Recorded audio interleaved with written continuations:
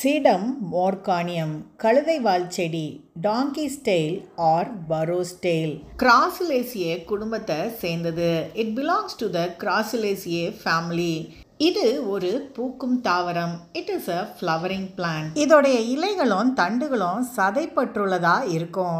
The leaves and stems are fleshy இது ஒரு கத்தாழை வகையை சேர்ந்தது.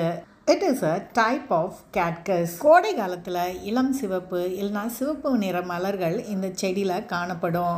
It bears pink or red flowers during summer இந்த இலைகள் நீல பச்சை நிறங்களில் காணப்படும். The leaves are blue green in colour தெற்கு மெக்சிகோவை தாயகமாக கொண்டது. It is a native of southern Mexico மத்திய வெரக்ரூஸ் மாநிலத்தில் உள்ள தென்னம்பா மாவட்டத்தில் உள்ள ரெண்டு பள்ளத்தாக்குகள்லையும் இந்த செடிகள் காணப்படுது. This plant has been found wild in two ravines at Tenambos country in central Veracruz. அங்கே மட்டும் இல்லாமல் வெப்பமண்டலத்தில் இலையுதிர் காடுகள் மண்டலத்தில் உள்ள எரிமலை பாறைகள்லையும் செங்குத்தான பாறைகள்லையும் இது காணப்படுது and on vertical cliffs of igneous rocks in the tropical deciduous forest zone. இந்த செடி பரவலுக்கு ஏற்றதாக இல்லாததுனால புவியியல் காரணத்தாலையும் இது ஒரு நுண் அக்னிய இனமாக கருதப்பட வேண்டியது. Due to restricted geographical distribution and it should be regarded as micro endemic species. Royal horticulture சொசைட்டியோட garden merit விருதை இந்த செடி பெற்றுள்ளது.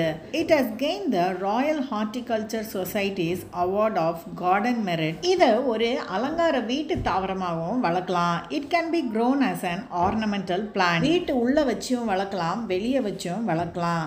It can be grown indoor or outdoor பொதுவாக தொங்குற தொட்டியில் தான் இந்த செடியை வளர்ப்பாங்க.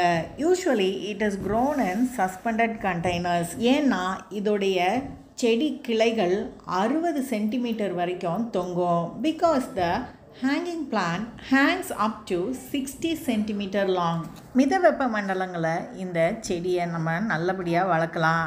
It can be grown well in temperate region தண்டுகள் மூலமாகவும் இலைகள் மூலமாகவும் இனப்பெருக்கம் செய்யப்படுது. It is propagated through stem or leaf cutting